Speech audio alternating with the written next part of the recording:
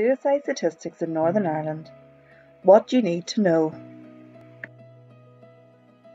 How are these statistics compiled? These statistics are compiled using information from the Coroner Service, which flows into the General Register Office to enable a death to be registered. When a death is unexpected or suspected as suicide, the death is referred to the coroner.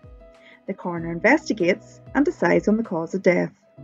The death is then registered with the General Register Office, and this information is made available to NISRA to append an ICD 10 code and analyse and publish suicide statistics.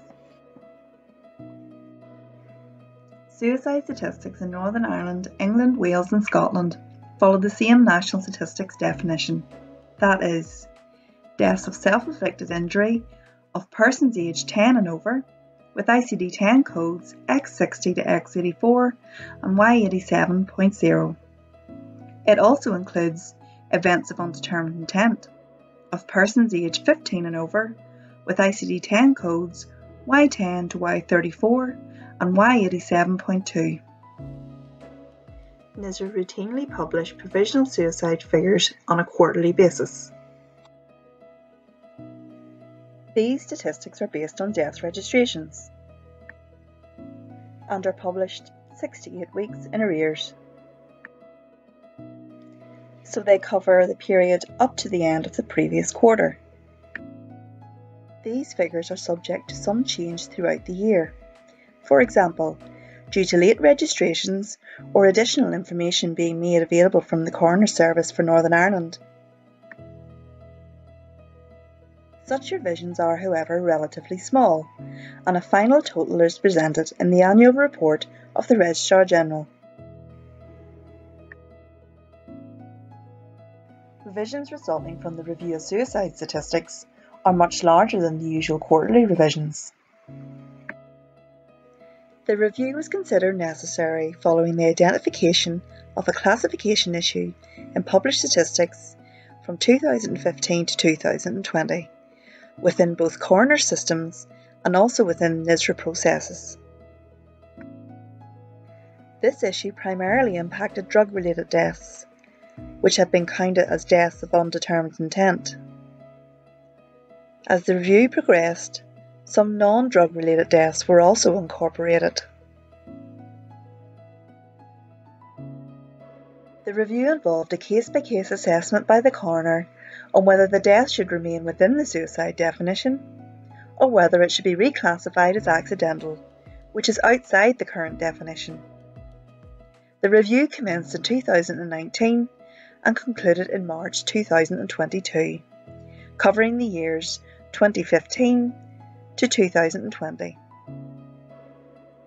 It has also been carried out on a lower standard of proof, the level of evidence needed by coroners to conclude whether a death was caused by suicide. The standard of proof was changed in Northern Ireland in November 2018 from the criminal standard of beyond reasonable doubt to the civil standard of on the balance of probabilities.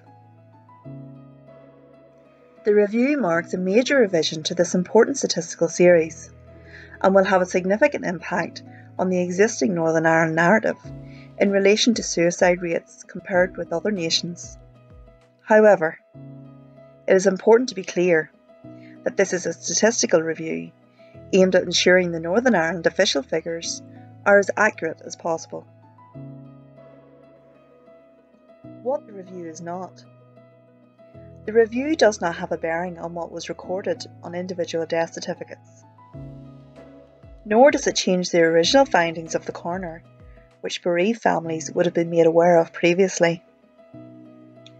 Despite the review resulting in a significant lowering of annual totals, the government's commitment to reducing deaths remains unchanged, and the key overarching message continues to be that one death by suicide is one too many.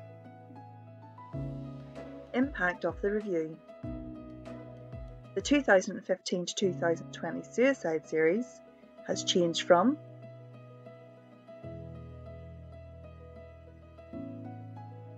to this.